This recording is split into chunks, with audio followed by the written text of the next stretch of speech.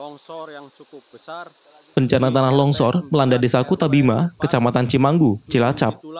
Dilaporkan, lima rumah tertimbun longsor dan puluhan warga terpaksa harus diungsikan ke tempat yang lebih aman.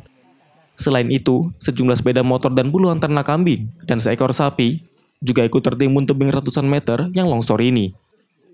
Untuk mengantisipasi longsor susulan, puluhan petugas gabungan, TNI, Polri, BPBD, dan para relawan terus mengevakuasi warga dengan menyusuri pinggiran tanah yang longsor ini. Pasalnya, akses jalan menuju ke pemukiman warga Dusun Jitulang Kutabumi ini tertutup total oleh material longsoran.